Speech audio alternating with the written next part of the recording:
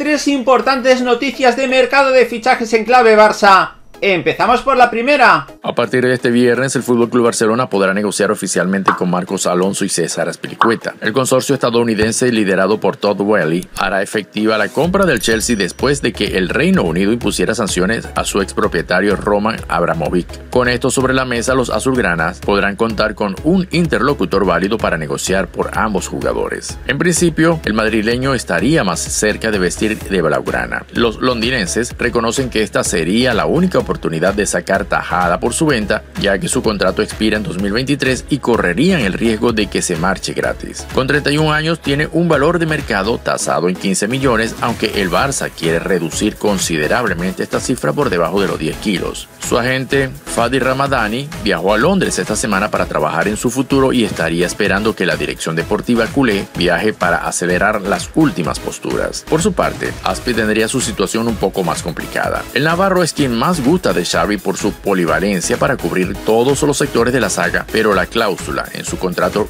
representa un obstáculo en su traspaso. Una vez superados los 30 partidos, el capitán quedó automáticamente renovado por un año más, dejando todo a la deriva a causa del bloqueo. Ahora, tras 10 años militando en Stamford Bridge, se espera que el futbolista pueda negociar su salida una vez tome posesión la nueva junta directiva. Los dos son objetivos claros para el Barcelona de cara a la 2022-23. El club necesita una renovación en su plantilla y sería cuestión de tiempo para que su presidente, Joan Laporta, active las palancas económicas necesarias para sanear las arcas del club y atacar el mercado de fichajes en busca de nuevas incorporaciones. De momento, tanto los dos españoles como el polaco Robert Lewandowski estarían subrayados en la lista como los targets principales. Por tanto, el Chelsea dispuesto a negociar con el Barcelona por estos dos cracks. Vamos a hablar ahora de otro defensa que tiene la mira al Barcelona, en este caso de la Liga Española. Pese al interés del Club Barcelona y del Real Madrid en el fichaje de Jules Koundé, el Chelsea parte con ventaja y de hecho está preparando una oferta para proponer al Sevilla. La afición del Sevilla por su parte no está contenta con el precio por el que se ha vendido a Diego Carlos y esperan que el caso de Koundé sea diferente. El jugador de 23 años es una de las grandes perlas del fútbol mundial. El central francés ha ofrecido un rendimiento increíble en Sevilla y ha formado, junto a Diego Carlos, una de las mejores parejas de centrales de toda Europa. Su juventud, su calidad actual y su proyección hacen de Condé un jugador excepcional muy completo en todos los sentidos, incluso a la hora de proyectarse en ataque. Es por eso que el Sevilla no aflojará y pedirá como mínimo esos 65 millones de euros, llegando incluso a pedir 70 para poder cerrar negociaciones. Ahora solo queda ver si el Chelsea aceptará dichas condiciones o si será otro club el que esté dispuesto a ofrecer la cantidad demandada por los hispalenses, sabedores de el potencial del futbolista galo. Por tanto, este sería el precio de Koundé. Vamos a hablar ahora de un fichaje que tiene asegurado el Fútbol Club Barcelona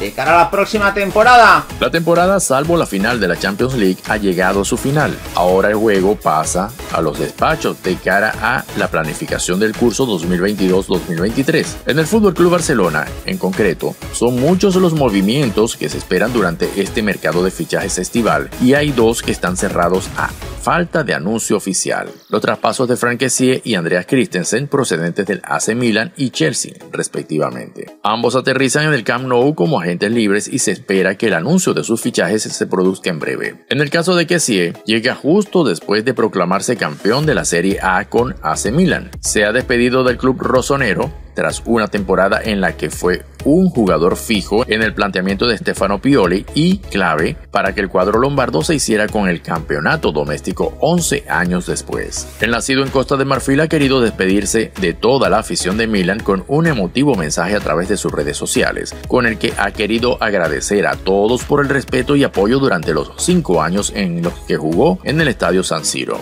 Ha escrito en su Instagram que, después de cinco años, nunca podía esperar que cerrara esta gran experiencia de la mejor manera, con una emoción única. Somos campeones de Italia. Asimismo, el jugador de 25 años escribió en su publicación que se sentía orgulloso de llevar una gloriosa camiseta y de haber vivido este trayecto con unos compañeros fantásticos. Gracias por todo, gracias a todos, despidiéndose con el apodo que le han puesto los aficionados del AC Milan en estos cinco años. De vuestro presidente sentenció que sí. El centrocampista aterrizará en el Barcelona de cara a la próxima temporada después de cinco años en el Milan. Pasó su reconocimiento médico con los azulgranas al final del mes de marzo y todo está acordado para que se anuncie su fichaje en las próximas semanas. Kessie ha accedido a un significativo recorte de sus ingresos para convertirse en jugador del Barça. Su salario será de alrededor de 6 millones de euros según diversas informaciones.